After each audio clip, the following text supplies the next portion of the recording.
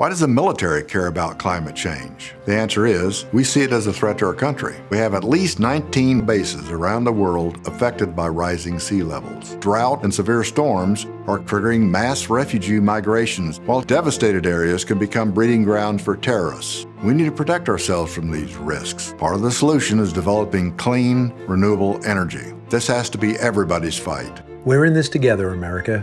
Go to climateofunity.org for more info.